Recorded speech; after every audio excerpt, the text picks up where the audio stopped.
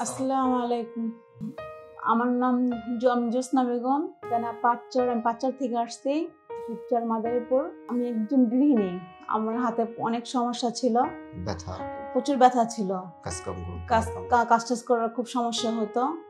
কিন্তু ইনশাল্লাহ এখানে আসতে পর অনেকটা ভালো। একটা সময় আমার খুব অনেক সুস্থ ছিলাম।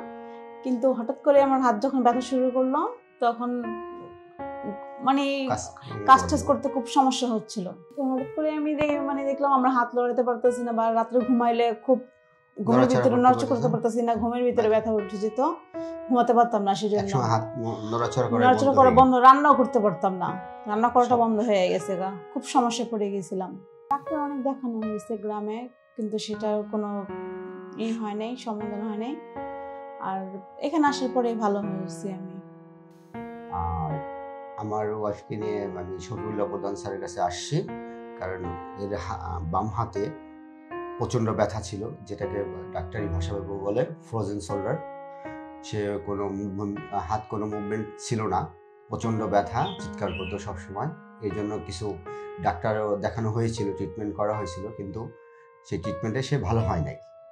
তার পরবর্তীতে আমরা কোনো সিদ্ধান্তহীনতায় ভুগতে থাকি। পরে এক সময় শফিউল্লাহ স্যারের নাম জানতে পারার পরে বা অ্যাড্রেস জোগাড় করে আমি তার কাছে গত ফেব্রুয়ারি মার্চ মাসের তিন তারিখে ভর্তি হই।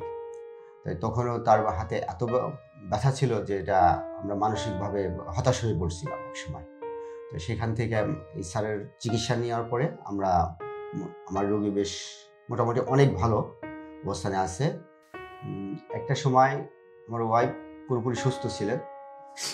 এরপরে গত এক দেড় বছর আগে থেকে ওনার বাম হাতে ব্যথা শুরু হয়। কোনো কারণ ছাড়াই, দুর্ঘটনা ছাড়াই তার হাত ব্যথা শুরু হয়। অল্প অল্প করতে করতে বেশ অনেক প্রচণ্ড পরিমাণে ব্যথা শুরু হয়। এরপরে আমরা স্থানীয় ডাক্তার দেখাই।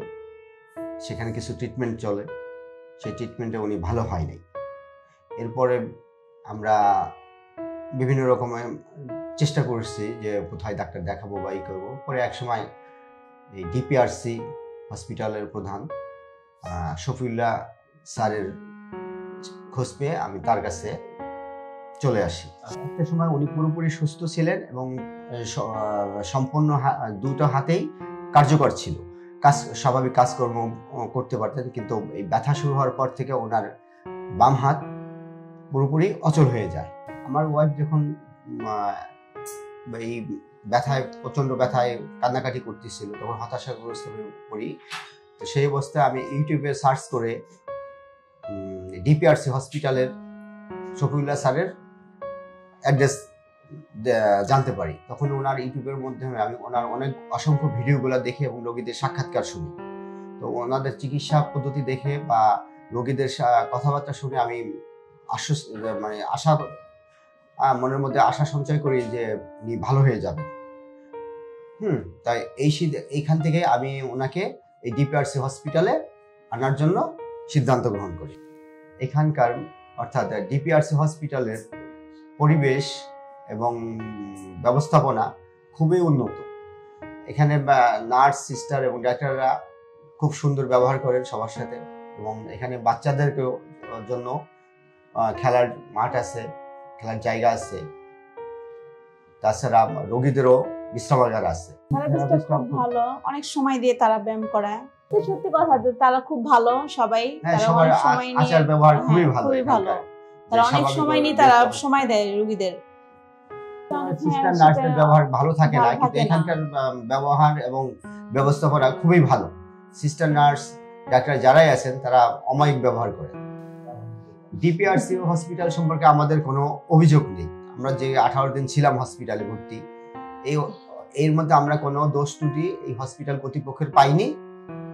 আর শফিউল্লাহ স্যার যিনি যিনি সার্বিকভাবে রোগীদের প্রচণ্ড সহযোগিতা করেন মানসিকভাবে সহযোগিতা করেন অধৈর্য বা ব্য- ব্য- ব্যথার স্যার নিজেই সমস্ত কিছু তদারকি করেন যে রোগীদের দেখ- দেখাশোনার ভালো মন্দ কখন কি করতে হবে নিজেই যে সেটা তদারকি করে। হ্যাঁ, আমরা তো অসুস্থ রোগী দেখি না কেউ ফেরত গেল। না সবই দেখি আমরা যে যে কয়দিন ছিলাম এর মধ্যে যে কয়জন রোগী এখান থেকে চিকিৎসা নিয়ে চলে গেছেন তাদের তাদের প্রত্যেকটা রোগী ভালো অবস্থানে ভালো হয়ে সুস্থ হয়ে এখান থেকে চলে গেছেন এবং আমরাও সুস্থ হয়ে বাড়ি ফিরতেছি। আমাদের ভিডিওটা যারাই দেখছেন তারা সবাই আমাদের জন্য দোয়া করবেন এবং শহীদুল্লাহ প্রধান স্যারের জন্যও দোয়া করবেন যেন উনি ভালো মানুষ ভালো একজন চিকিৎসক সেই হিসাবে যেন আল্লাহ তালা দীর্ঘায়ু দান করেন। ডিপিআরসি হসপিটালের চিকিৎসা যে খরচ হয়, তা মোটামুটি সহনীয় পর্যায়ে অতিরিক্ত কোনো কিছু ধার্য করা হয় না। তো এখানে যারাই আসবেন মোটামুটি উন্নত চিকিৎসায় স্বল্প খরচে ভালো চিকিৎসা পাবেন। আমরা জানি আপনার প্রিয়জন আপনার জন্য কতটা গুরুত্ব বহন করে। প্রপার ডায়াগনোসিস কনসালটেশন পেইন ও প্যারালাইসিস চিকিৎসা পুনর্বাসন আমাদের সব আয়োজনই সব সময় আপনাদের জন্য চব্বিশ ঘণ্টা খোলা। আমরা চাই না আপনারা বারবার আমাদের কাছে ফিরে আসুন তবুও আমরা আছি সব সময় সর্বদা আপনাদের পাশেই। ডিপিআরসি হসপিটাল লিমিটেড আস্থা বিশ্বাস ও নির্ভরতায় অবিচল।